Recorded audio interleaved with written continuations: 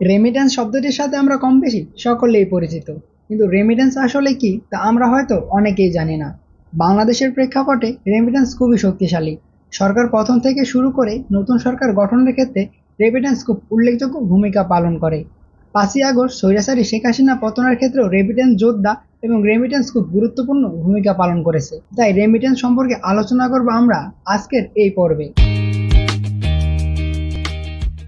Remittance শব্দটি remit শব্দ থেকে এসেছে, যার অর্থ ফেরত পাঠানো।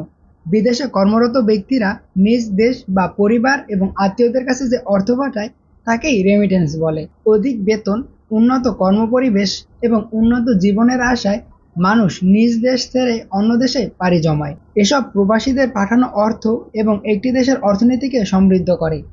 রেমিটেন্স বৃদ্ধির সাথে সাথে দেশের মাথাপিছু আয় এবং জিডিপিও বৃদ্ধি পায়।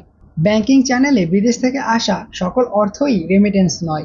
অনেকে দেশে বসে ফ্রিলান্সিং করেন অথবা বিদেশে কোম্পানিতে চাকরি করেন। বৈদেশিক মুদ্রা আয় করেন, কিন্তু এগুলো সম্পূর্ণই রেমিটেন্সের অন্তর্ভুক্ত নয়। এসব রপ্তানি আয়ের অন্তর্ভুক্ত। ফ্রিলান্সিং এবং দেশে থেকে বিদেশে কোম্পানিতে চাকরি করা সেবা রপ্তানি আয় হিসাবে বিবেচনা করা হয়। অর্থাৎ রেমিটেন্স হওয়ার একটি গুরুত্বপূর্ণ শর্ত হল বিদেশে অবস্থান করে দেশে টাকা পাঠানো। সকল দেশের কেন্দ্রীয় ব্যাংকের মুদ্রা বিনিময় এবং আন্তর্জাতিক মুদ্রা তহবিলের পরিসংখ্যানের ভিত্তিতে প্রতি বছর রেমিটেন্সের প্রবাহ নির্ণয় করা হয়। বিশ্বব্যাংকে দু সালের বিশ্বের সেরা রেমিটেন্স অর্জনকারীর দেশ ছিল ভারত। গত বছর রেমিটেন্স থেকে ভারত অর্জন করেছে তিরাশি মিলিয়ন ডলার। দু হাজার আট সাল থেকে ভারত রেমিটেন্স আয়ে শীর্ষ অবস্থান ধরে রেখেছে। শীর্ষে রেমিটেন্স অর্জনকারী দেশগুলোর ভেতর বাংলাদেশের অবস্থান অষ্টম। বিগত বছরগুলোতে বাংলাদেশের রেমিটেন্সের আয়ের প্রবাহ অনেকটাই বেড়েছে।